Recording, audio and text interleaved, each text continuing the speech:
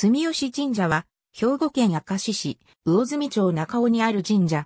旧社格は、県社。明石市内には、数社の住吉神社があり、その代表とされる。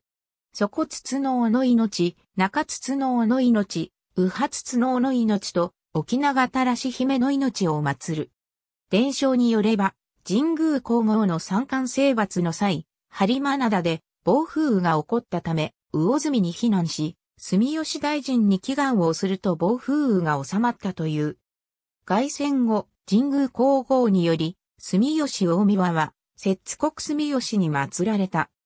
大阪の住吉大社に伝わる、住吉大社神代記によれば、住吉大宮より、播磨国に渡り住みたい。藤の枝の流れ着くところに祭れとの託線があり、藤の枝を海に浮かべると、魚住に流れ着いた。そこで、有力天皇8年に統治に、住吉大臣を勘定したのが、当社の創建と伝える。昭和5年に現在地に潜座した。海上守護、産業、和歌文学の祖神と仰がれ、交通安全、商工業、学業の守護神となっている。また、洋曲、高砂に住吉、高砂の松の相生にしたとして、住吉明神の神徳を称えており、夫婦円満の神でもある。初めて住吉大宮が祀られた地ということで、住吉神社の発祥の地と称されている。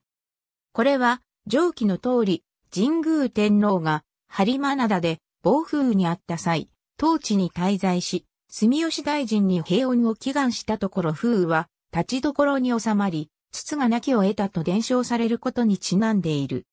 その際に、皇后の衣を松の枝にかけ干していたところ風になびき金のように美しく見えたことから、錦ヶ浦と呼ばれるようになった。神宮天皇が、摂津の国の国住吉に、鎮祭した住吉大明神が、我が居住は、無と、翌利するところは、播磨の国に渡り住まむと、お告げを出した。そのため、大富を切り、海に浮かべ真意を伺うと、この藤の枝の流れ着くところに、我を鎮祭れとのご託戦した。藤は、当地の魚継ぐ浜んじ流れ着いた。これにより、有力天皇8年4月初海にこの地に誕生し、祀ったのが、この住吉神社である。以降、魚住省の総鎮守者として崇敬される古社となった。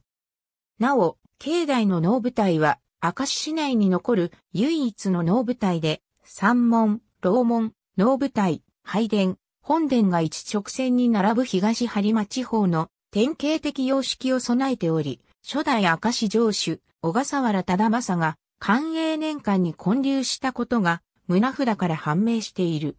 脳が地方まで伝播した江戸時代初期の生活文化と歴史的変遷を知る上で貴重な資料となっている。なお、周辺の漁船の多くが当神社にちなんで住吉丸の船名をつけている。ありがとうございます。